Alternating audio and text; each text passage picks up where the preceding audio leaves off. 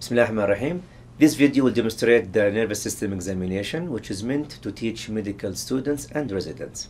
In this video, we'll go through the process and steps of the nervous system examination, starting with the mental status examination, cranial nerve examinations, motor, sensory, gait, and coordination. The best advice to use this video is to watch it and then you practice the steps shown in these videos.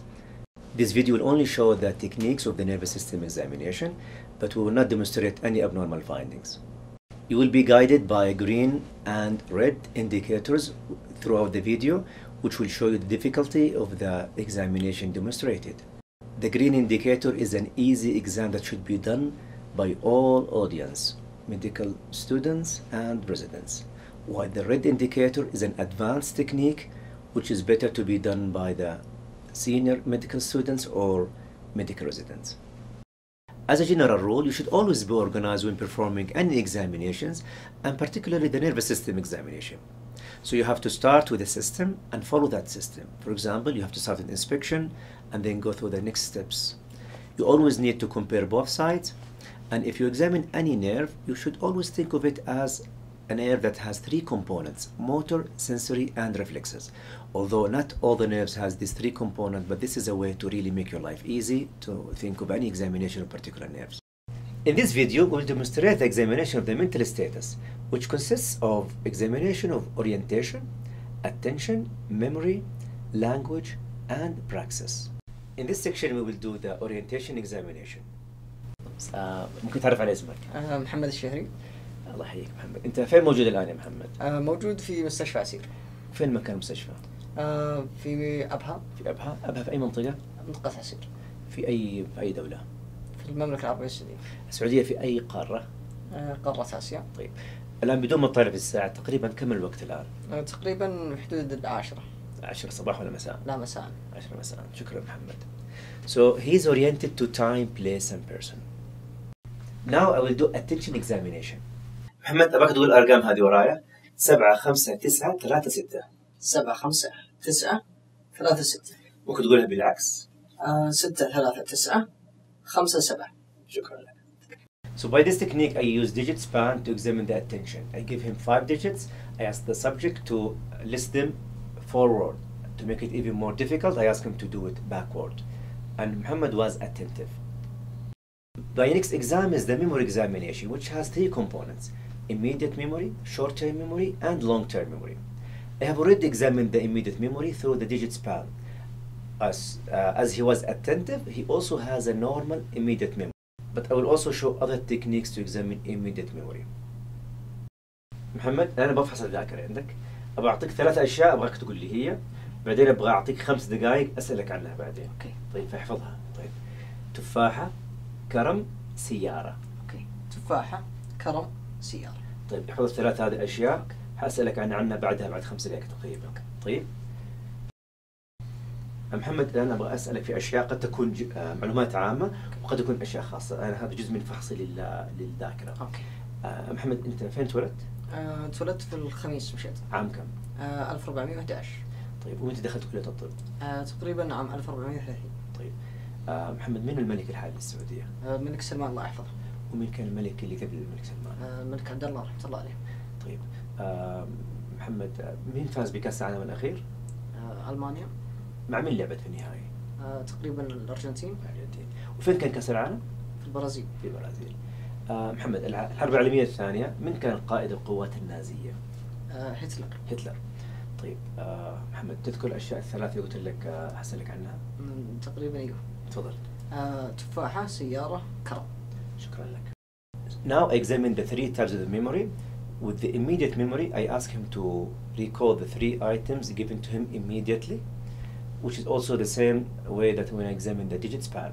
The short-term memory, I give him three items, and I, I told him that I will, I'm going to ask you about it in five minutes. Then I distracted him by examining the long-term memory, which is uh, general facts, personal information. Uh, it should take you more than five minutes, and um, then I should go back to the three items to really examine the immediate memory. So now he has a normal, immediate, short-term, and long-term memory. There are other ways to examine the short-term memories, such as asking, uh, where did you park the car? What did you have for the breakfast? But make sure you have somebody who can verify the information given by the subject. So it's better to avoid this by giving him three standardized items. Next is the language examination, which has six components fluency, comprehension, repetition, naming, reading, and writing. Reading and writing will be influenced by the patient's level of education. So if you are dealing with somebody who never read or write, just avoid these two parts of the examination. محمد ابغاك تقول لي إيش سويت من اول ما صحيت الصباح اليوم؟ آه، تقريبا صحيت على الساعة 10 جلست مع الأهل كذا لين قرابة الصلاة توضيت وطلعت أنا والوالد صلينا في المسجد آه، رجعت بعد الصلاة آه، أخذت لي نومة كذا بسيطة إلى صلاة العصر صليت آه، طلعت من البيت خلصت بعض الأشغال آه، رجعت قبل الفطور. أفطرت مع الأهل. آه، وبعدها جلست تلفزيون بعد العشاء وصلت هنا. طيب. محمد آه طيب شكرا محمد. الآن أنا بقول لك سوي أشياء فتابع معي أنت. أوكي. ارفع يديك اليمين فوق. احسنت نزلها. يدك اليسار المس بها إذنك اليمين. شكرا لك نزلها الان محمد حط يدك اليمين على رأسك وغمض عينك. أحسنت شكرا لك خلاص. طيب محمد كرر معي الجملة هذه. أوكي. اليوم 7 رمضان 1436 اليوم 7 رمضان 1436 شكرا لك. محمد إيش هذا؟ آه هذا قلم إيش اللون هذا محمد؟ آه أسود. طيب إيش هذه محمد؟ هذه ساعة. طيب إيش الجزء من الساعة هذا؟ آه معدني. إيش الجزء؟ عقارب. ايش هذا محمد؟ ثوب تمام طيب ايش هذه؟ آه نظارة نظارة طيب To examine reading, I can give him a newspaper. I ask him to read the headlines. To examine writing, I give him a piece of paper and a pen, and I ask him to write a sentence. So now I examined language, and he has a normal fluency. I ask him to follow a few steps command, and he has a normal comprehension. Repetition, I gave him a sentence, and I ask him to repeat it immediately. He was able to name different objects. He was able to read and write. So this is a normal. Next, I will do praxis, which is examination of apraxia. محمد لو الان معك مشط في يدك كيف مشط شعرك؟ حمشتك تمام طيب لو معك افترض انه في يدك فرشة اسنان كيف تفرش اسنانك؟ مظبوط لو انت عسكري كيف تسوي تحية عسكرية؟ طيب لو الان اعطيك أنا علبة مثلا بيبسي كيف تفتحها؟ So the next examination is the cranial nerve examination. As we know, there are 12 cranial nerves. You should go through them thoroughly from the first cranial nerve to the 12th cranial nerve. These nerves are olfactory nerve, optic nerve, oculomotor, trochlear, trigeminal, abducent nerve, facial, vestibulocochlear, glossopharyngeal, vagus nerve, accessory nerve, and hypoglossal nerve. First, we start with the olfactory nerve. Uh, to examine the olfactory nerve, you should get a, a non-irritating common odor, and you should ask the patient to in, smell it in each nostril separately. Remember, it should be a non-irritating odor. محمد آم، الان أبغى أ- اعطيك اشياء تشمها آه، هي ابغاك تغمض عينك وتشمها وابغاك كل مره تستخدم يعني جهه من الانف طيب الان ابغاك تغطي لي اليسار ايوه حاول خذ كذا شمه كذا واحده اوكي فانيليا فانيليا طيب الان آه، الجهه الثانيه قفل ايوه وغمض عينك This is a different item to smell شو محمد؟ خذ نفس. آه كافي coffee. So he has a normal smell in both nostrils. Next will be the optic nerve examination, which has five components that you should examine visual field, visual acuity, color vision, pupil response, and fundoscopy. I will start with the visual field. In order to examine the visual field properly, you should have a, an item that has a red cap and should be transparent. You may use a pen with a red uh, ball at the top. And you can also use your fingers, but it's better to use any item that has a red color on a transparent um, stick. To examine the visual field properly, patient should have no glasses. You should be at least one meter or an arm stretch away from the patient. You have to examine each eye separately.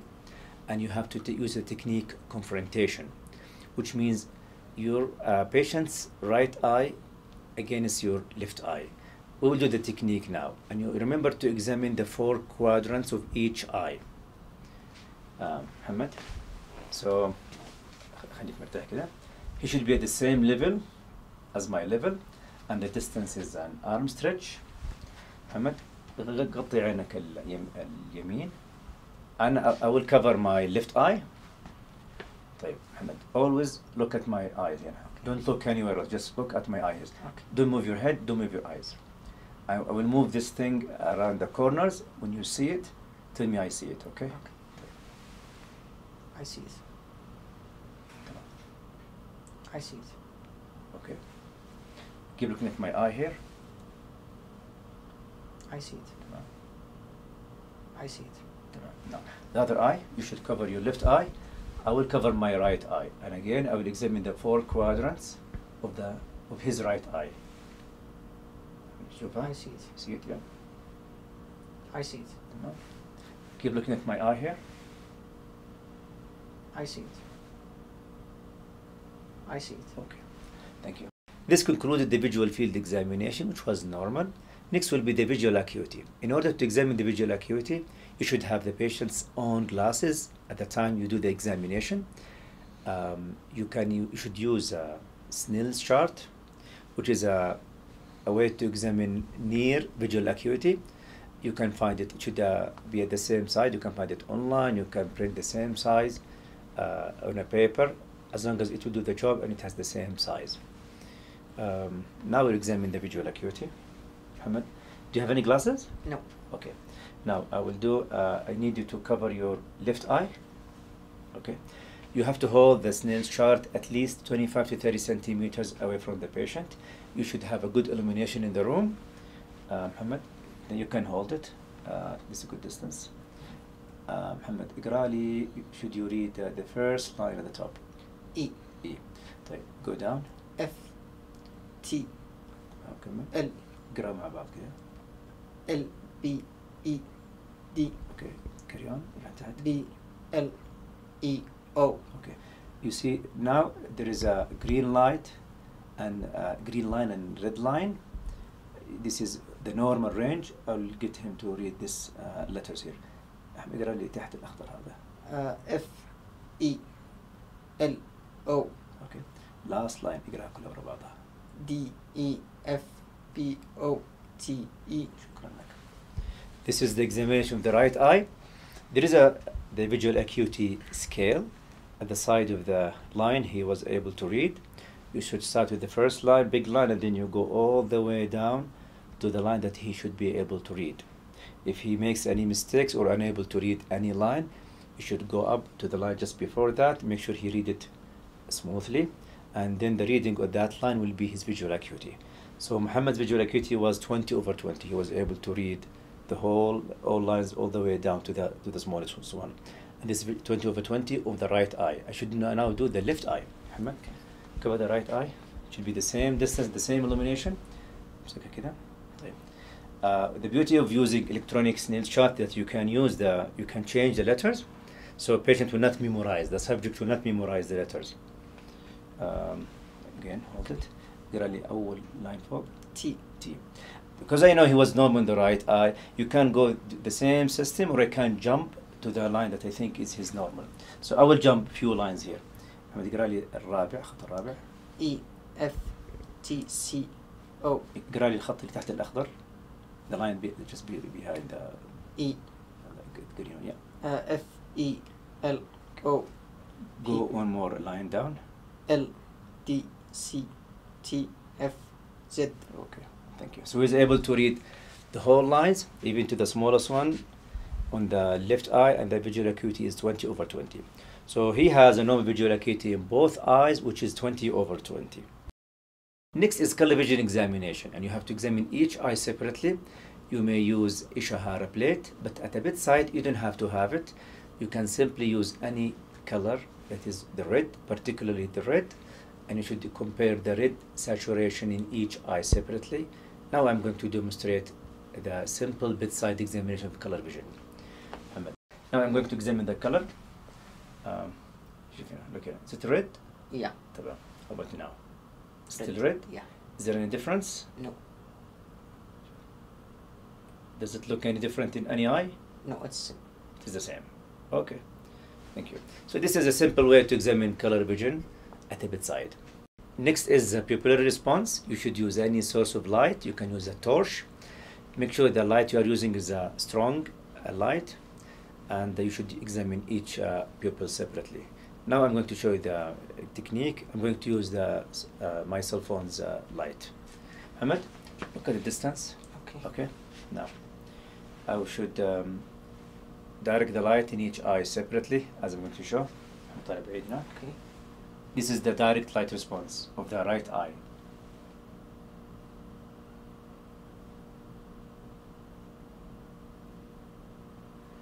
And I can see a normal uh, pupil response.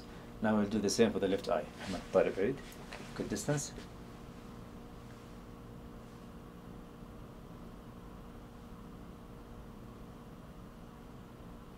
Make sure you uh, show the light very quick and take it off very quick. You can also swing the light between each eyes to look for the direct and indirect. Hamid, look at the distance. Okay.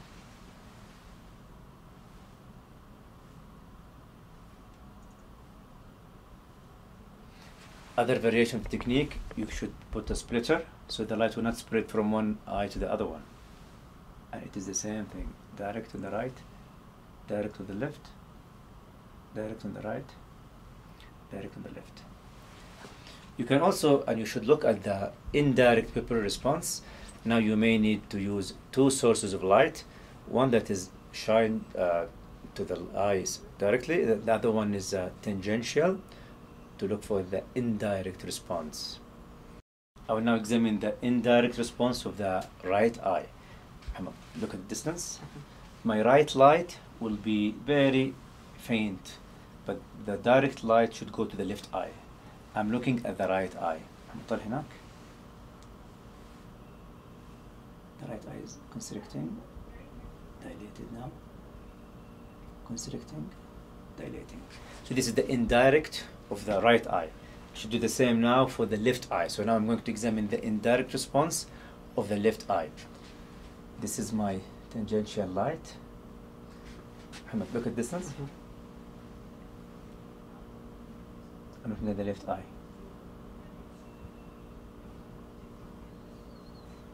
And I can see uh, the uh, good response of the left pupil when I shine the light directly to the right eye. So now examine the direct and indirect pupil response. This is part of the optic nerve examination. Next, I will do the examination of the oculomotor, trochlear, and abducent nerve. So that are three, four, and six nerves. We lumped these three together because they are controlling the eye movements. When you examine these three nerves, you should start with inspection, and then you do the eye movement technique, which are um, the H technique. Sometimes you may use the X technique, and finally you have to do accumulation. I will start with inspection here. محمد هو كذا ريلاكست ايوه um, لا تسوي حاجه انت انا انا بس ابحث بطالع فيك so if I want to inspect the 3 4 and 6 nerves I have to look for ptosis abnormal eye movements such as nystagmus or any eye deviation you may also need to comment about the pupillary size if there are any uh, pupillary asymmetry um, so these are the ma- the major components that I should look at when I examine these three nerves by inspection. My next technique will be the H technique, looking for the extraocular movements. Hamad, uh, don't move your head. Only I want you to follow my finger with your eyes only.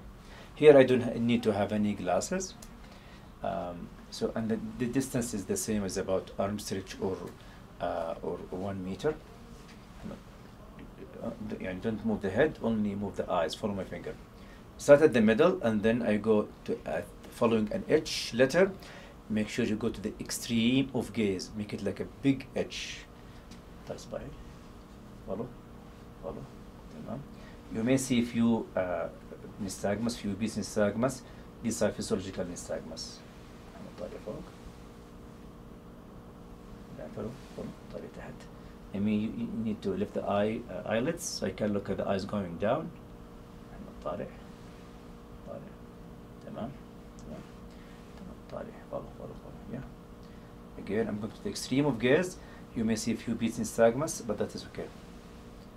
Go up all the way and then I go down.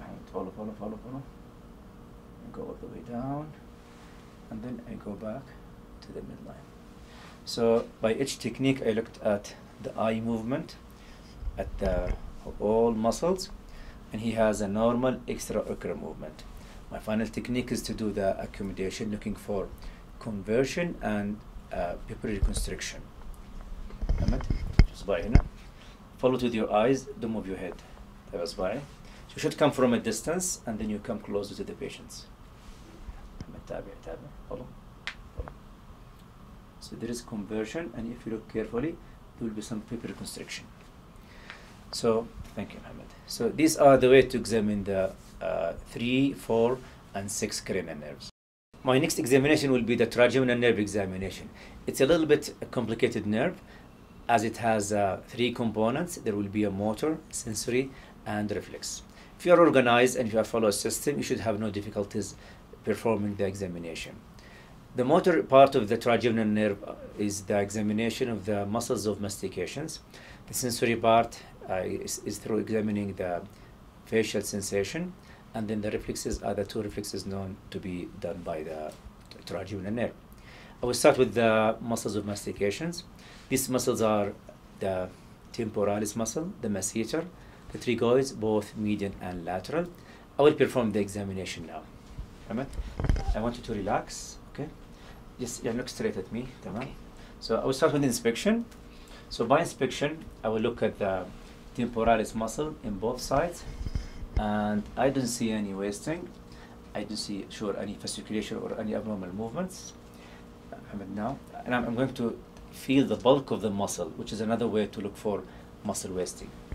محمد عد على اسنانك كلينش ارخي عد مرة ثانية so I can feel the bulk of, thank you, I can feel the bulk of the temporalis muscle on both sides and it looks normal. Next I will do the masseter. Ahmed, relax, relax. Masseter is a very, like a longitudinal big muscles. You can feel it if you ask the subject to clench in the teeth. Ahmed, relax. لا ارخي الآن. عض. And I can feel the muscle that should be coming longitudinally يعني from, from top to bottom. عض عض محمد ارخي. okay. So I can feel the muscles. heater look, they look both symmetric on both sides. Now we'll do examination of the pterygoids Ahmed so by jaw opening these are the pterygoid muscles. There are median and lateral pterygoid they will uh, help to open the jaw. محمد al-hanak الحنك وبسات side? Exactly. So this is a way to examine the pterygoids again both median and lateral for the side to side movement of the jaw. You can also apply uh, resistance to assess the power. محمد حاول كذا ايوه قاومني تمام the other, the other way قاومني تمام ارخي so uh, these are the muscles of mastications the motor part of the trigeminal nerve which is a normal examination so he has a normal motor component of the trigeminal nerve next exam will be the sensory examination the sensory examination again is the sensation over the face remember the trigeminal nerve will cover the face through three uh, divisions which are the V1, V2, and V3, or the ophthalmic division of the trigeminal, maxillary division, and the mandibular division. Usually, we should examine each division. You have to compare side to side. You should know the anatomical landmarks of each uh, division. I will not go through them now, but at least I will do the sensory examination of these divisions. You can use either the fine touch, you may use temperature, you may also use pinprick, like a pain sensation. Avoid to examine the vibration because vibration will go through the bone and it will just give you a false information. So you can use touch, temperature, or pain. I'm going to use the touch and I'm going to use like a regular um, uh, uh, tissue paper. Muhammad, um, I'm going to examine the sensation of the face. Always when you examine the sensation, you have to give a patient a standard, like a way to teach him what is the sensation you're expected to feel, and then you go to the, examine the area of interest. محمد الآن so I will use here the chest as my uh, control. محمد تحس هذه؟ تمام؟ تحسها زي ايش؟ ايوه تاتش مش touch، كذا؟ نعم So now محمد ابغى تغمض عينك انا I will do the exam on your face okay آه. so I ask him I did the standard and then I get him to close his eyes sensory, sensory exam should be done with with eyes are closed and then I will examine uh, each side separately. I told him I'm going to examine the face, so he won't be surprised with what I'm doing. So this is V1. Hasina? Yeah. Hasina? Yes. They look the same? Yeah. The way I'm doing it is screening, so I'm not going to really go through the landmark of the, each division, but I'm going to examine each division like a, a spot area as a screening for the exam. Eyes close again. Hasina? Yes. Tamam. Hasina? Yeah. You look the same? Yeah. Tamam. Now the last division, Ahmed Hasina. Yes. Hasina. Yes. Sure. Okay. Thank you. So this is the sensory part of the trigeminal. Again, I examined V1, V2, V3. I was doing screening. I compared each side uh, to the other one. I use again the touch. You can use any other sensory modality. My last part of the sensory of the trigeminal nerve examination is the um, the reflex. For the trigeminal nerve, we do have two reflexes that you usually examine you can use uh, these are the corneal reflex and the jaw jerk. I will do the corneal reflex if you don't mind, Hamad. Okay. So for the corneal reflex, um, I will do um, each eye separately, and um, I will look for uh, the blink response of each eye. Hamad. Now I'll do the right cornea. Remember, it's a corneal reflex, so you should make sure that you hit the cornea. You don't hit the sclera, the white part of the eye, because it is not sclera response, it's a corneal response. So hit the cornea. Ahmed, so I get him to look away from my target because I don't want him to blink just because of the threat that he's you know, he sees something coming toward him. So look away. Ahmed, look there. Oh, sorry. So uh, I, I touch the right cornea and both eyes closed. Now I will do the other eye. محمد مزعج الاختبار بس سامحني. Now um, محمد look away. Look away. Again, I don't want to come in front of his face. No, I should come away. He should look away from the area I'm approaching. Thank you, Mohammed. So I examine the corneal reflex of each eye and he has a normal corneal response bilaterally. I will do now the jaw jerk. ريلاكس محمد اسمع افتح فمك شوي كذا open it make it a little bit more yeah, a little bit more relax relax so I get him to open the, j- the jaw he should be relaxed محمد relax تماما and I hit thank you so what I'm doing I again he is relaxed the mouth is not forcefully open it's like a midway open and I hit the the lower the mandible of course looking for either uh, a jerk which should not be an exaggerated jerk or no response. You can have normal uh, response with no response at all or like minimal uh, jaw jerk. So these are the two reflexes um, um, run through the trigeminal nerve. So overall the trigeminal nerve uh, is normal with normal motor sensory and reflexes the next examination is the facial nerve examination. Again, this is a very important cranial nerve that all the students and physicians should know how to examine. Uh, the facial nerve examination, um, as usual, it has three components. There is a motor, sensory, and reflexes. The very important part of the uh, examination is the motor exam, which uh, uh, through through which we will be examining the muscles of uh, facial expression. Um, so do the exam now on Muhammad. Again, when you do an examination, be organized. I will start from the top and I will go all the way down. So to examine the muscles of facial expression, Muhammad, relax. Okay. Um, by inspection, again, I'm looking from the top and I'll go down. Muhammad, lift your eyebrows up. Eyebrows up, up, up, up. So now I'm going to look at the wrinkles. They look symmetric. The eyebrows elevate symmetrically. Muhammad, yes, relax. And then Muhammad, close your eyes very tight, very tight. Now, very tight eye closure. Again, I look at the eye closure, very tight. They look symmetric. I need to apply resistance to see how equal the eye closure is. محمد غمض عينك. د- لا تخلي يفتح عينك. So they look very يعني, strong both sides. Relax. Okay. Now I'm going down all the way. I will examine and have to comment about the nasolabial fold of each side.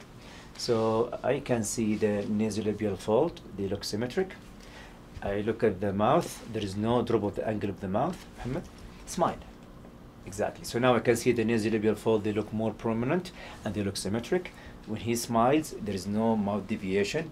The angle of the mouth again looks symmetric. Muhammad, uh, open your mouth, get wide. Again, this is another way to look at the facial muscles uh, of the mouth. So again, looking at the mouth deviation. Thank you.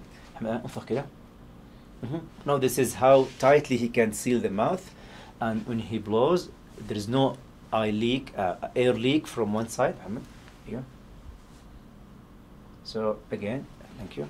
I cannot uh, um, um, let, get any air leaking from any side. So tight mouth closure look normal as well. Again, I keep going down now, Mohammed.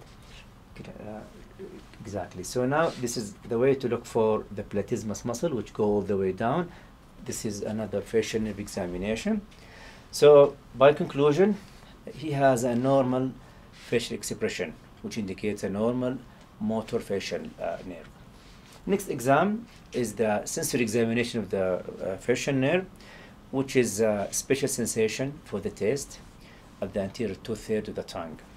I will not show the exam, but I can discuss it uh, uh, theoretically in brief. You can get a, a common uh, taste, usually salt or sugar, and you should get the tongue protruded. You can use you should use gloves and hold the tongue out, and then you put a taste. Uh, each time you can put one test taste. You can use only one taste if you want, and without letting him getting the tongue inside again, he should be able to tell you what uh, what flavor he was able to taste. This is the sensory facial nerve, which is special sensation.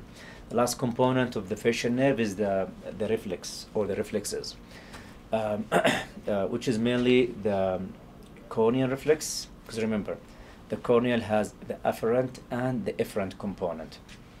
We are going. We are talking here about the efferent component, which is the facial nerve for the eye closure. And I want to go uh, do the corneal reflex again but uh, we, as, we saw before, he has a normal corneal reflex bilaterally in both sides.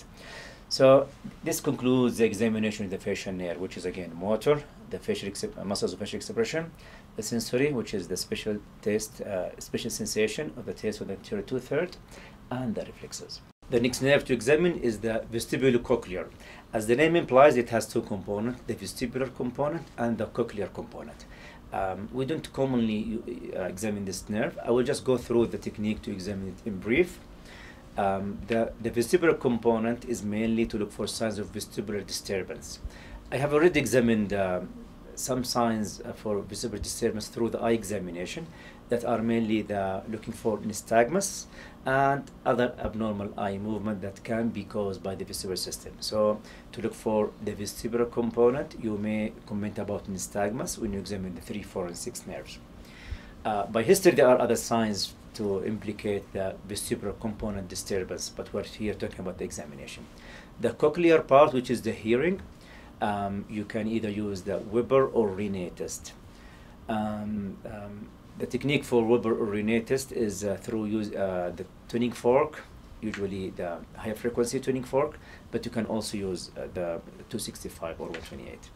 Um, uh, I will not go through the exam technique here, and you can read it more, uh, because some someone may argue the validity of these two tests. It is not the matter of discussion here, but this is the cochlear examination, i.e., the hearing examination of the cochlear nerve through Rinne and Weber. You can do a very simple exam uh, for the hearing. You can whisper at uh, one ear, and you can distract the patient very gently on the other ear, looking for if he's able to recognize the whispering in one ear, and then you can do, do the other side. Uh, so these are the way to examine. These are the ways to examine uh, vestibulocochlear nerve. Next exam is the glossopharyngeal and vagus nerve. We lump these two together because they share some of the features. That's why they are examined together. Uh, we do the motor uh, uh, part of these two nerves through looking at the soft palate and the uvula. When the patient say ah, and then I look for the contraction, symmetric contraction and elevation of the uvula uh, and the soft palate. Um, there is also the um, reflex, which is a gag reflex, um, and there is no sensory for these two nerves, at least that you can do through, uh, through our techniques. Um, okay, so now I ask him to open the mouth. I shine some light to look at the uvula and the soft palate. Muhammad, say ah. Ah. Okay. So uh, there is contraction of the uh, uvula and elevation of the soft palate both sides. Thank you. And both sides look symmetric. Um, next, you can do, and you, you, just need to comment about the contraction and the uvula elevation with no deviation, no asymmetry. Uh, for the reflex, you can do gag using the uh, tongue depressor. You should use um, the tongue depressor to touch the back of the throat in each side and looking for the gag response. Um, I said there's no sensory exam that you can do here, but there is sensory exam, which is mainly the sensation of the soft palate But i- we don't do this commonly as in clinical practice. It is mainly the gag reflex that can touch the afferent and the efferent part of these two nerves. Next exam is the accessory nerve. Accessory nerve has only a motor component. There is no sensory. There is no reflex. Now I will show the uh, this accessory nerve, which supplies two uh, m- uh, important muscles: the trapezius and the sternocleidomastoid. I'll examine the trapezius now. محمد ريلاكس كده. اسمع ارفع كتفك على فوق. ارفع فوق. نزلها. So this is shoulder shrugging. أم- ارفع مرة ثانية. So there is symmetric shoulder shrugging. نزلها. So uh, shoulder elevates symmetrically with symmetric shoulder shrugging. And now I will apply resistance. محمد ارفع فوق. قاومني. Try to resist me. Resist me. Very good, thank you. So this is the trapezius muscle, which is normal. Next will be the sternocleidomastoid. I will examine the right sternocleidomastoid. محمد بك طلع على اليسار. طلع على اليسار. ايوه. So this is the right sternocleidomastoid. The function of each muscle is to deviate the head contralaterally. It is not only a matter of inspecting looking at it. I will apply resistance to see how strong the muscle is. محمد حاول طلع على اليسار. انا لا تخلي دفيتي على الجهه اليمين انا قاومني انا هناك so I'm examining the right sternocleidomastoid by resistance pulling the head to the right which was very strong now I'll do the other side هنطلع على اليسار again this is the left sternocleidomastoid محمد قاومني دفنتي على ال- اليمين this is the muscle and he is able to uh, resist me with no difficulties and the resistance look equal in both sides so it is a normal sternocleidomastoid bilaterally so this is a normal accessory nerve the last cranial nerve is the hypoglossal nerve which is only a motor nerve uh, it is the motor of the tongue uh, and I'm going to show the exam now فهمت؟ الان اسمع افتح من فمك كذا yeah. So now I inspect خلي فمك relax tongue relax exactly. افتح فمك so I this is my inspection. I look at the tongue I look for any signs of wasting any fasciculation or any uh, atrophy or uh, changes that I can see on the um, tongue by inspection. الحمد لله طلع سمك برا. So I ask him to protrude the tongue طلع برا؟ Tongue protrusion. It looks midline. There is no deviation.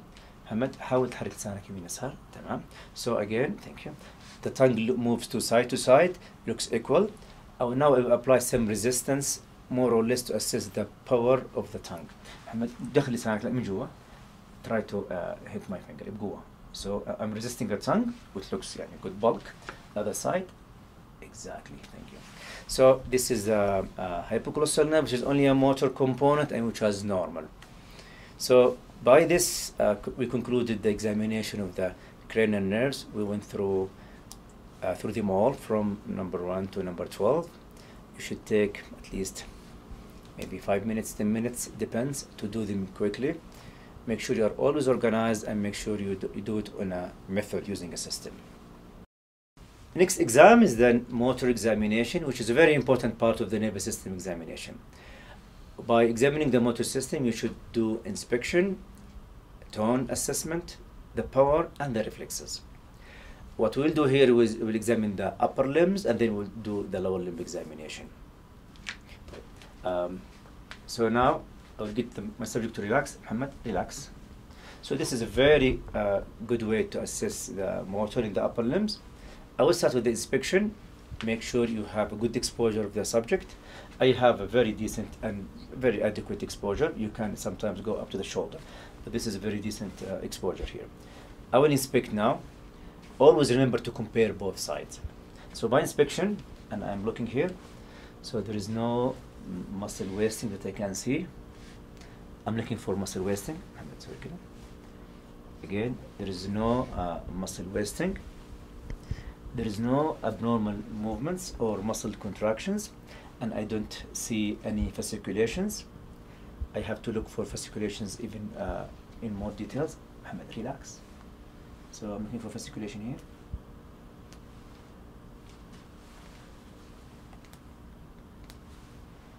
I don't see any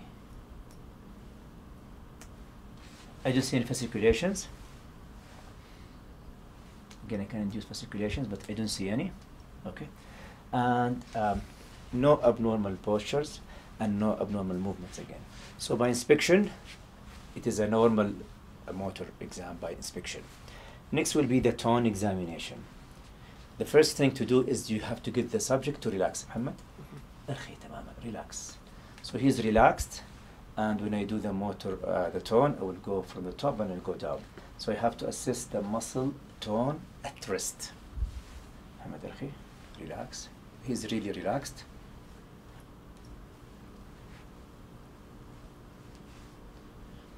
I have to compare. Muhammad, relax again.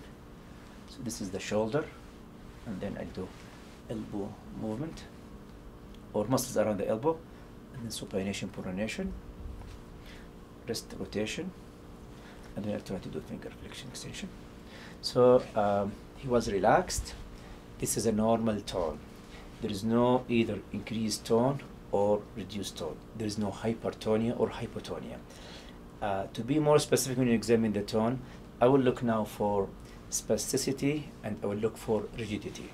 I will start with spasticity. Ahmed, relax. Remember, spasticity is speed dependent, velocity dependent, and it's only unidirectional. In the upper limbs, you should be able to elicit it with extension. Relax. And it is velocity dependent. I have to apply speed. Relax. So it is nice and smooth. I don't see any catch. I don't see any increased tone when I apply this uh, quick movement to the elbow. Relax, relax, relax. Okay, so relax. I do the same for supination pronation. There is no spastic catch. There is no increased tone with speed. Relax, relax. So uh, there are there are no signs of spasticity. Now I will look for rigidity, and it is simply the way that you do when you examine the tone. Relax. Now I'm I'm looking for rigidity. So rigidity doesn't need uh, any speed, and it, if you if you see any rigidity, it will be bidirectional, either uh, which I mean in flexion extension, in contrast to uh, spasticity, which is only extension in the upper limbs.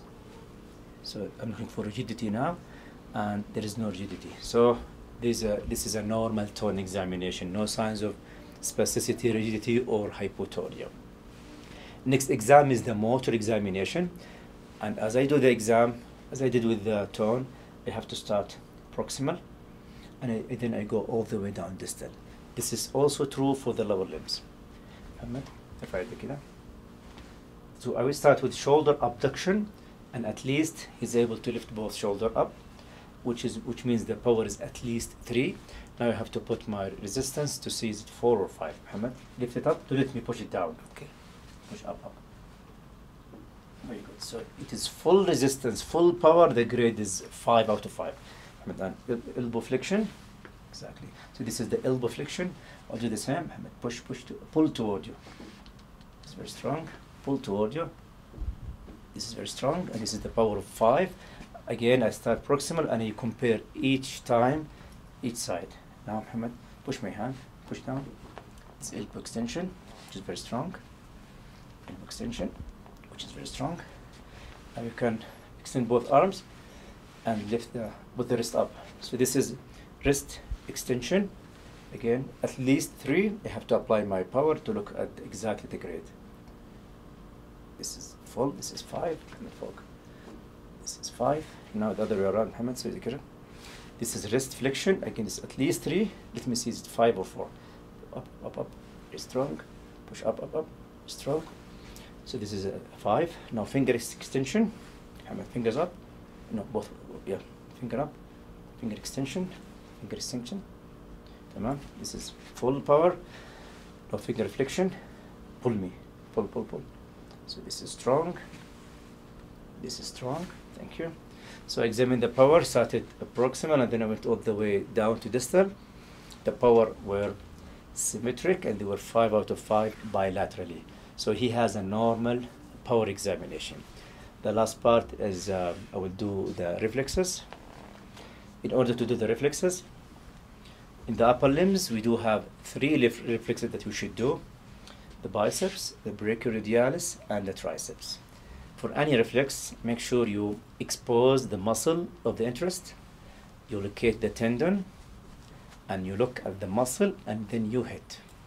I, I usually recommend this long rubbery hammer because when you do the reflex, you don't want to hit directly, you want the hammer to go smooth by itself. So this is because this is rubbery, it can really go bounce, hit very gently instead of you hit um, uh, forcefully. I will show the examination of the reflexes now. Again, so I will start with this position while he's sitting. With this position, I can do the three reflexes all at once. So I will start with the biceps on the right side. The muscle is exposed. I try to locate the tendon. Muhammad, relax. You should always get your subject to relax. Muhammad, relax. Berkhi. And then hit. Muhammad, relax. I can feel the contraction and you can see it. If it doesn't look as dramatic or marked as you think, you can augment or enhance the reflex or do some technique to augment the reflex. Muhammad, uh, عضل أسنانك كده. You go, and you can see it even more. Relax. So this is the biceps.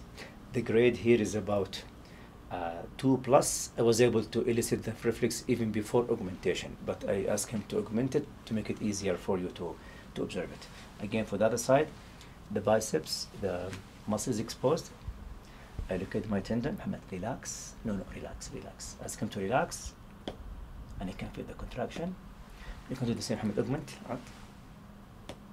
And you can feel it a little bit more. So this is the bicep on the other side, which is normal. Grade 2, 2 plus. Brachioradialis is the muscle that flexes the elbow. And you, I can show you the muscle.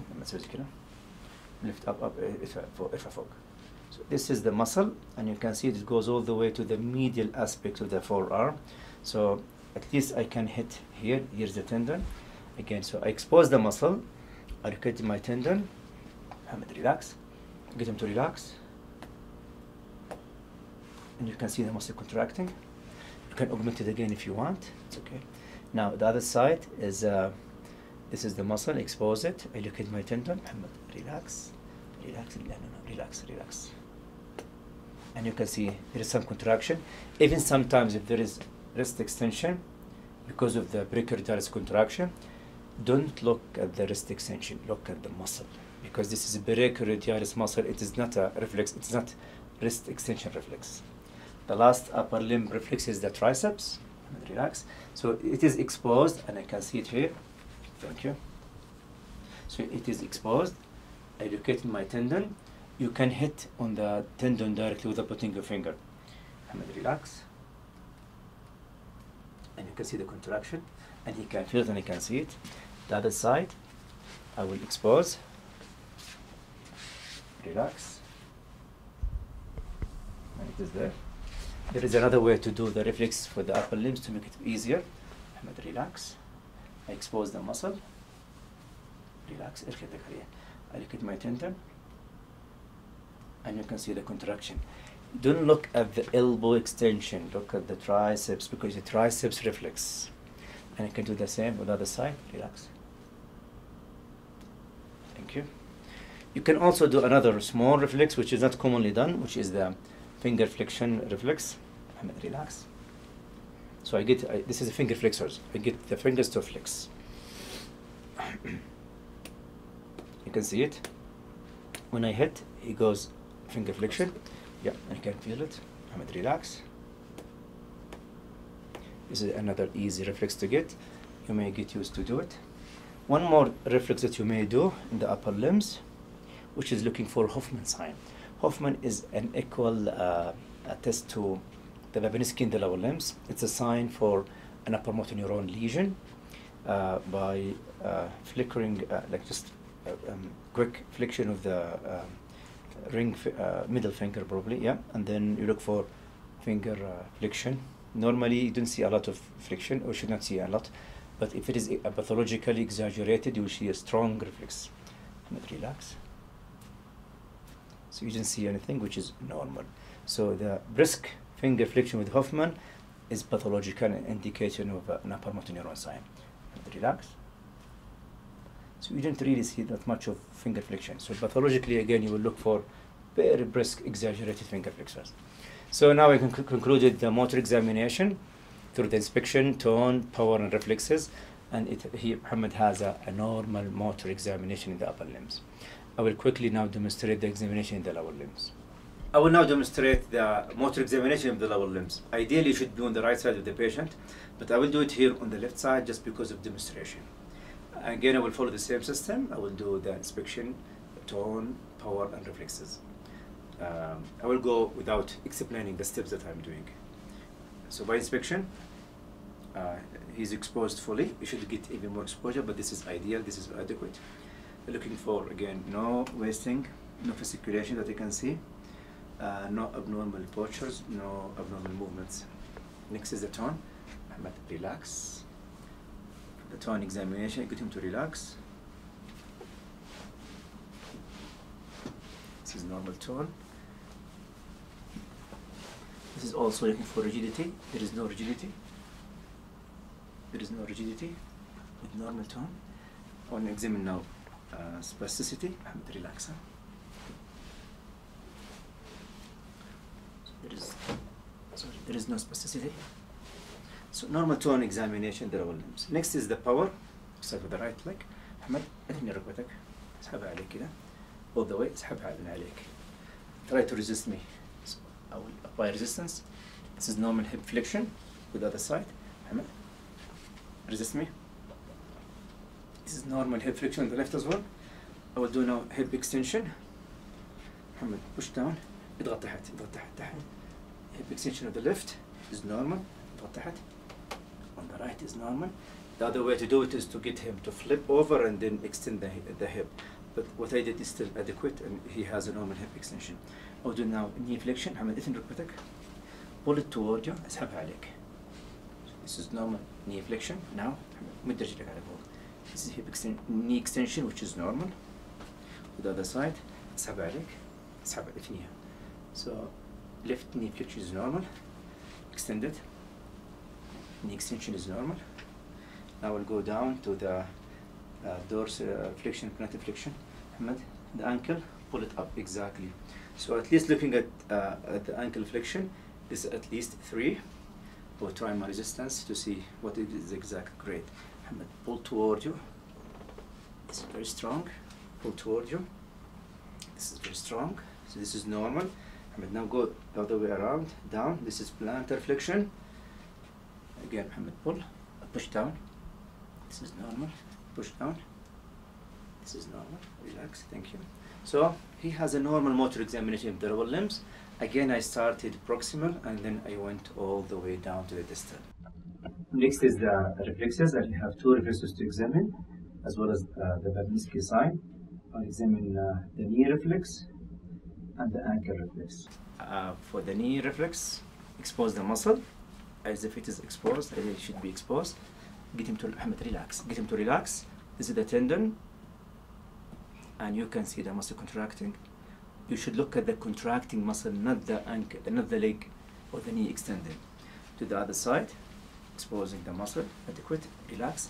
You can do this, we commonly do this, at least you secure he's relaxed. Ahmed, relax. I have the knee uh, tendon ex- uh, exposed, the muscle ideally should be exposed. Relax, and I look at the muscle. So this is a ankle, uh, the knee reflex, which is symmetric. Now for the ankle, we usually do triple flexion. So I flex the hip, I flex the knee, and some gentle flexion of the ankle. It's just a gentle flexion. Expose the gastrocnemius muscle, then I hit. You can see very nice and easy elicited reflex. I do that. It's the same for the other side.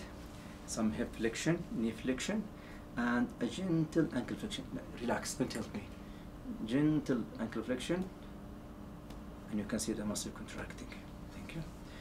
Uh, finally, I have to do um, Babinski sign, which is an upper motor neuron sign, which equal to the Hoffman in the upper limbs. And uh, for the Babinski, you have to scratch, gentle but yet adequate scratch of the sole of each uh, uh, foot.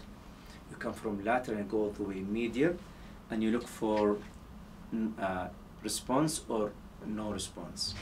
The normal response is flexion of the big toe and the, small, the other toes. Pathological response, which is positive Babinski, is the what we call upgoing plantar or the upgoing flexion of the of the big toe or dorsiflexion. We'll examine this now. Hamid, relax. I'm going to scratch the foot. The foot. Okay. Sometimes you have to give the patient some hints because it may be a little bit annoying to some patients. Relax, Mohammed. So from lateral, I go all the way medial. And if you look at the toes, if they went down, you can do it again to confirm. And it the big toe even goes down. Sometimes it stays the same, which would be uh, this is what we call equivocal. It may have no um, clinical um, implication, uh, but definitely if it goes up, it is pathological. I will do the other side as well. So it is it goes down or equivocal. So this is a negative Babinski, which is a normal response. So again, the motor examination of the lower limbs were normal for the inspection, for the tone, for the power, and the reflexes. The next examination of the nervous system is the sensory examination. Sensory examination is a little bit tricky because you have to know the technique properly and you really depends on the patient's response. We have different sensory modalities that we should look for. We examine pain and temperature, we examine vibration and proprioception, and you can also do the touch. I will quickly go through these um, uh, sensory modalities with different techniques. I will do the upper limbs first and then I will quickly demonstrate the lower limbs. I will start with um, uh, uh, pain and temperature. For pain, you can use the uh, toothpick, which would be uh, a sharp, disposable, that you can use it once and then you throw it away. Try to avoid needles because you may, first of all, you may um, injure a patient or a subject, and you don't want to spread whatever this subject is, happen, have, is having to the other subject through um, um, uh, blood uh, needle stick. So we always use a disposable uh, toothpick. Here I will do um, temperature for the pain. It is the same thing. Um, you for temperature, you can use any cold or hot item. Usually, cool is better than hot because it is better tolerated by the subject or by the patient. Um, I put this in a, a- ice water and it is now cold, so I will use it as my cold uh, um, instrument to examine the temperature. I will again examine the upper limbs and then I will do the lower limbs.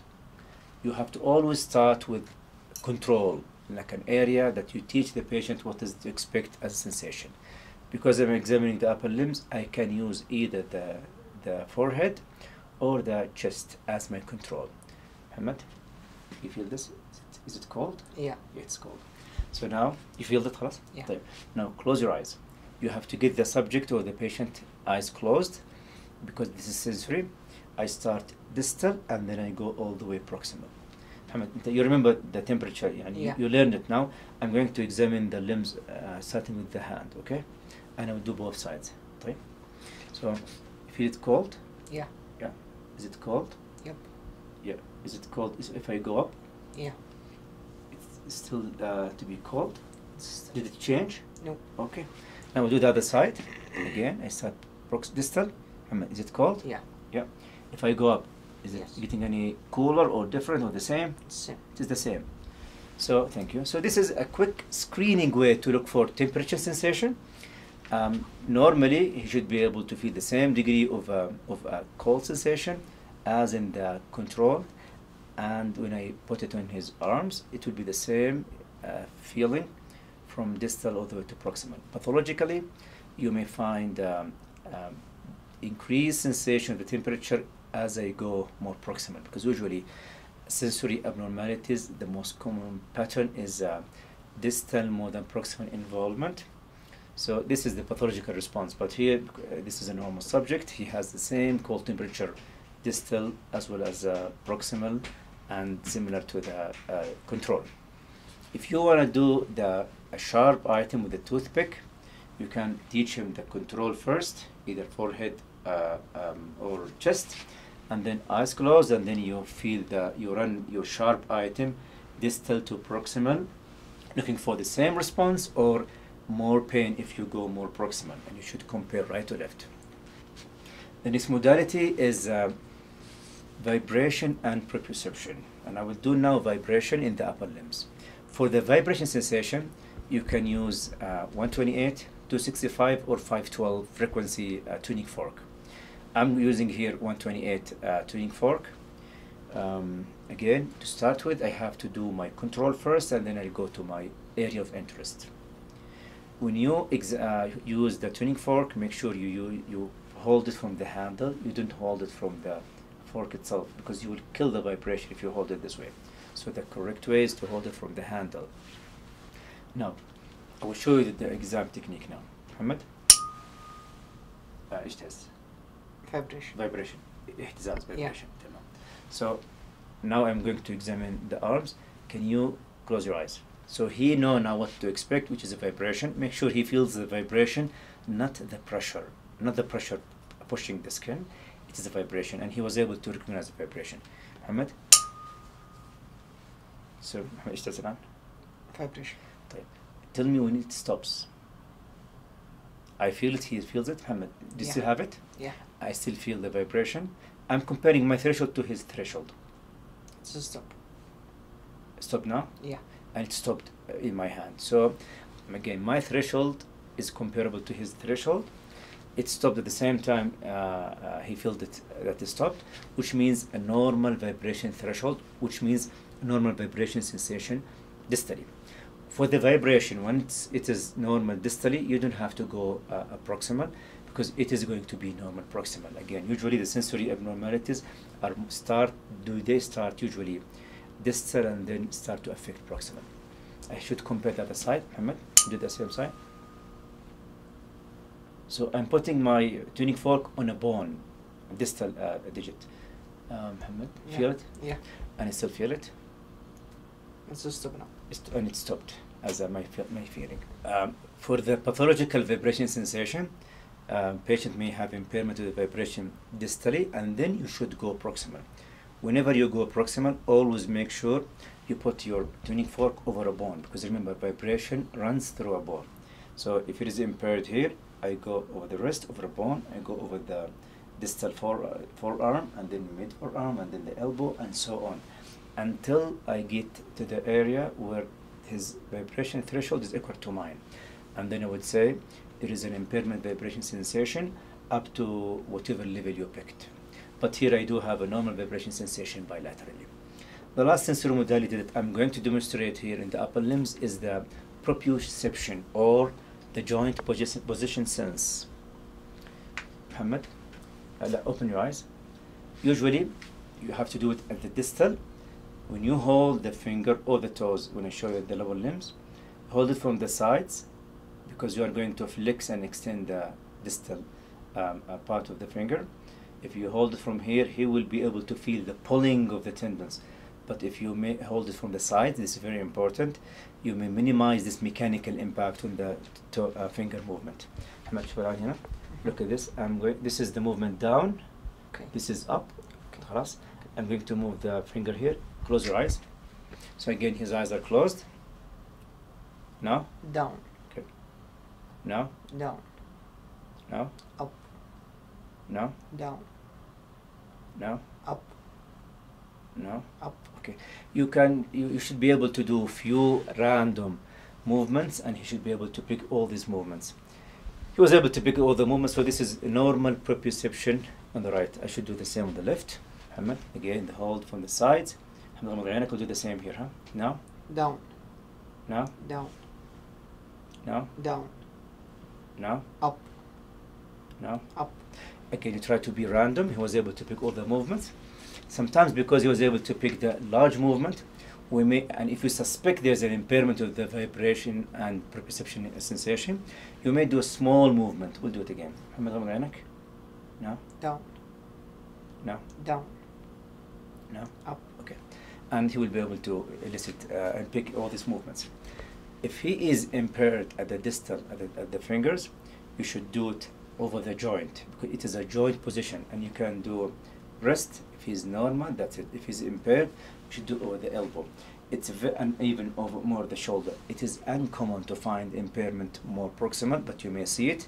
Make sure you give a comment at the level where he was able to recognize the movement over whatever joint you examined. So here now we have normal vibration, normal proprioception sensation bilateral in the upper limbs. There's a normal uh, pain and temperature. You can screen for touch using a um, tissue paper. Teach him the control first and then close his eyes and you can just run your tissue paper distal to proximal looking for the same movement, uh, the same sensation uh, distally to proximal. And I'm not going to demonstrate it because this is uh, uh, easy to explain, easy to do. Uh, I will do now the examination in the lower limbs. I will now demonstrate the sensory examination in the lower limbs. I will do it very quick because we have done it already in the upper limbs. I examine pain, temperature, vibration, proprioception. I will start with the temperature. This is again cold. Ahmed. This is my uh, uh control. Barda? Yeah. Cold? yeah. Again, cold? Yeah. One of them is enough. I will do both. Now close your eyes. I will start distal and then go proximal. Ahmed. Cold? Cold? If I go up? The same, the same temperature? Yeah It's not getting w- colder or warmer, No. and you have to go up. يعني for, uh, uh, assuming he had exposure, but this is adequate exposure, so it is the same temperature, Mohammed. yeah We do the other side. Mohammed, close your eyes. I start distal. Mohammed, cold, yeah cold. yep Is it the same if I go up? yep It is not getting cooler or warmer. No. Thank you. So this is a normal temperature in the lower limbs. I can do the pinprick again with a sharp uh, toothpick. Get to the control. He feels it sharp, and then he, his eyes are closed. And then I go distal, and I just keep poking him gently, of course, to look for the tem- uh, pain sensation. That should be the same throughout, from distal to proximal, as well as uh, on the control, on the control area. Uh, vibration, I will do the same quickly. تمام؟ لا افتح عينك. What do you feel? vibration Vibration? Okay, now we'll do it in the lower limbs. Close your eyes. I will go at the toes distally. You feel it? yeah And I still feel it? You feel it, Mohammed? yeah stop I still feel it? stop now Stop now, and it stopped actually. So this is a normal vibration threshold. I should do the other side. Mohammed, the same story you know? yeah it's fine. You feel it? yeah Sometimes people may try to get this stopped. I prefer to go uh, that the vibration, the tuning fork will go stop by itself Stop. because Thank you. And it stopped actually. Yeah. You're not looking at um, if he if it stops or not. You look at the smooth uh, stop of the vibration itself. Sometimes you may read there is a normal response of um, eight um, uh, seconds plus or minus. The idea here is to compare your uh, vibration threshold to his vibration threshold. So this is a normal vibration. I don't have to go any more proximal. Next is proprioception, Mohammed. Here I will move the toe Again, I'm holding it from the sides. Ahmed, this is up, okay. this is down. Now close your eyes. Close your eyes, Ahmed. No? Down. No? Up. No? Up. No? Up. Okay. No? Down. So this is a normal uh, proprioception. If you think, if you suspect a proprioception impairment, you can do a fine, smaller movement as we have done already on the upper limbs. I will do the other side, Mohammed. down Okay. No, up no, down no. down Okay, so this is a normal joint position sense in the, uh, in the other side. If it's impaired, if it's normal distal, you, you don't need to go any more proximal. If it's im- impaired distal, you can go at the ankle. If it's impaired, you can go at the knee, which is um, very unlikely, um, very uncommon to find impairment. But you have to do the proper technique in order to pick all these signs. Uh, for the um, uh, touch, you can use uh, um, tissue paper go to the control and then eyes closed and you try to slide your tissue paper distal to proximal bilateral both sides looking for the same sensation or different sensation And this is the sensory examination in the lower limbs. So he has a normal sensation in both upper and lower limbs for uh, the whole sensory modalities or for all sensory modalities. The next part of the nervous system examination is uh, cerebellar and coordination examination. For the upper limbs, there are a few exams that we do, and in the lower limbs, there are different exams that we should do. So for the upper limbs, we usually do finger nose. We look for rapid alternating movement. We examine uh, finger tracking. We also look for rebound phenomena. I'm going to demonstrate these signs in the upper limbs. For the lower limbs, which I'm going to demonstrate as well, we look for heel shin. Sometimes we do knee tapping, and sometimes we also do toe tracking. I will start with the upper limbs here. I will start here with the finger nose, Muhammad, with your right finger, with your right hand. Try to touch my finger, and then go back to touch your nose. And I need you to keep doing this back and forth, and you keep follow my moving finger. Okay. Make sure you move the finger in different uh, directions, and make sure you go at distance because if you look for cerebellar signs, usually, thank you, they are better shown toward the target, toward this distant target. We'll do the same for the uh, other side. Yeah. Okay.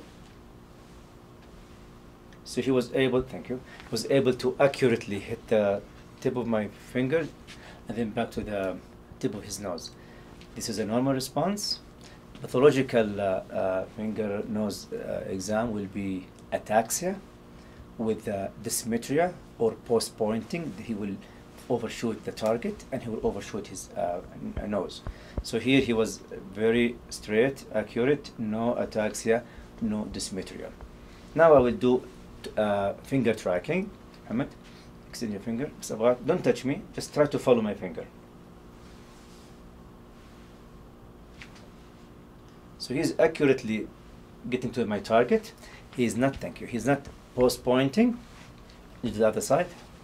He, he doesn't need to touch, he just need to follow. Okay, very good. So this is finger tracking. This is again, I'm looking for overshooting or dysmetria.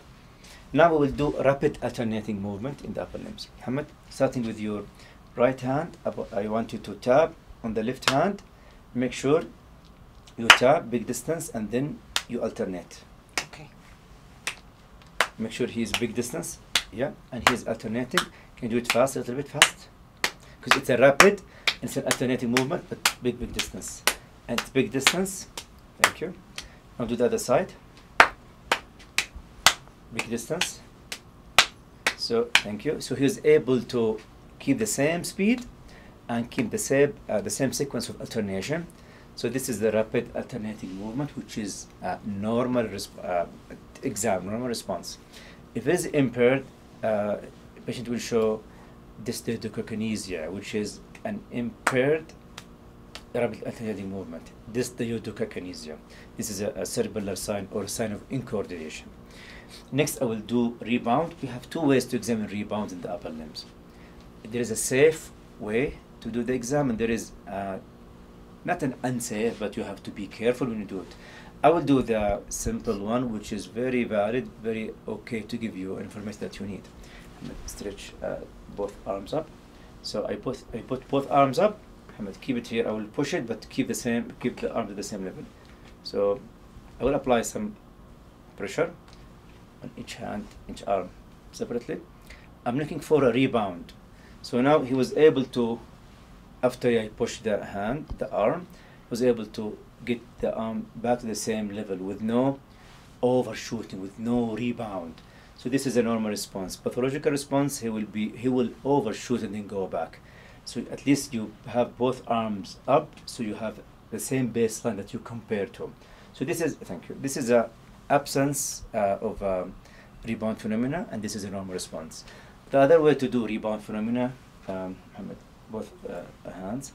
So I will protect patient's face by putting my arm, and then Mohammed خلي يدك كده. keep it the same, keep it at this uh, uh, place, yeah. Then I pull. So he's keeping the arm at the same level to the other side. So he's keeping the same arm at the same level, thank you. If he has a rebound, he will again overshoot when I let my hand go. He will overshoot, him. he hit his face. That's why you have to protect the patient's face. If you don't know how to do this technique properly, please avoid doing this because it may cause some problems to the patient and to you as well. So better to use the arm stretch rebound test. Either ways, rebound phenomena was negative by two different techniques here. So coordination exam in the upper limbs were normal. I will demonstrate now coordination in the lower limbs. I will now demonstrate the cerebellar examination or the coordination examination in the lower limbs. And we do three tests, the heel shin, knee tapping, and toe tracking. I will start with the heel shin test. This is very standard uh, coordination exam in the lower limbs. Muhammad, I need you to, starting with the right uh, foot, I need you to run the heel on the shin. You go up all the way to the knee, and then you go down. Okay. Make sure you go straight line. Make sure your toes are up. Okay. Keep it always up. You don't have to be quick. You have to be accurate. Okay. Now the other way around. Toes up. Make sure you, are, you go straight. Yeah. Okay, thank you. So this is a heel shin examination. There is no ataxia. There is no incoordination. So this is a normal test. Next, I will do knee tapping. Muhammad, with your right leg again. Start here. Can you, in the heel, tap on the knee? Okay. Make sure you tap accurately. Yeah, you can do it a little bit quicker.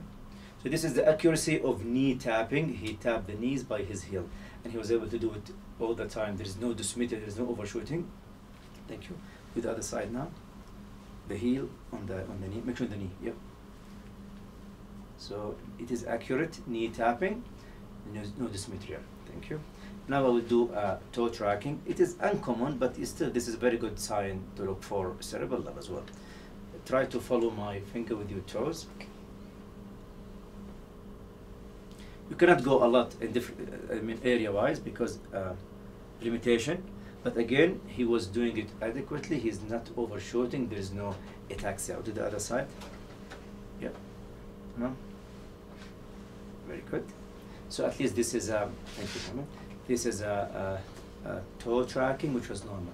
So I can conclude he has a normal coordination and cerebellar examination in both upper and lower limbs. I will now show you how to look for truncal ataxia. Truncal ataxia is a, a midline cerebellar uh, examination. It's midline structure of the cerebellum. Um, Mohammed, can you cross both arms? Try to sit up. Thank you. So this is a normal response. He was able to uh, sit up with arm crossed, and he was very steady. If, if there is a truncal ataxia, he will have difficulty sitting up and uh, stay still without supporting himself. So he will be very wobbly and he'll be ataxic. And then you can say there is a, a signs of truncal ataxia. Uh, but Muhammad's exam here is normal, so there is no uh, signs of truncal ataxia here. The next and the final examination is the gait examination. We will do a few maneuvers to look for signs of gait abnormalities. To start with, we will get the patient to walk normally, and he should walk toward you, and we should look for um, this uh, distance between the feet, the swinging of the arms, and we should get him uh, uh, going back and forth. It's best to be examined in a, uh corridor where there's a good space for the subject or the patient to walk. This is a, as an observation, you can come up with um, a lot of signs by only observing the normal gait. To make it even difficult, if the gait is normal, we will do tandem gait, which is heel to toe. We'll get the patient to get his uh, toes attached very well to the heel, walk on a straight line, heads up, and he should be stable and steady when he's doing this maneuver. So this is a normal tandem gait or heel to toe walking. If somebody is unable to do this, he will be very ataxic, very difficult to do, and maybe he will be unstable or even difficult to attempt this uh, walking technique. The next technique is I will get the patient to walk in his uh, on his heels. So this is a good way to look for uh, flexors, dorsiflexion of the foot, and he was able to uh, nicely do um, uh, heel uh, walking. And we can do the other way around. We can do uh, a toe walking, where patient will walk on his tiptoes. This is a good way to look for plantar flexion, and uh, the subject here is able to walk on his toes with no difficulties. This is a toe walking. You can do other technique of the of the gait. While the patient is standing, you can look for also other signs of uh, proximal muscle weakness. You can get the patient to cross both arms and ask him to squat, and then you ask him to stand up. So this is a normal squatting test with no signs of proximal uh, muscle weakness, which is commonly seen with uh, myopathy or muscle disease. Finally, while you are doing the gait examination, you should do Romberg test, which is a, a dorsal column uh, problem or proprioception problem to be more general. Can you have both feet together? Feet close together, yeah. And then head up, close your eyes. Now I'm doing the Romberg test, and you should wait for sometimes 15, 20 seconds or maybe more to look for how steady he is when his both eyes are closed and the feet are tightly closed together. He's very steady.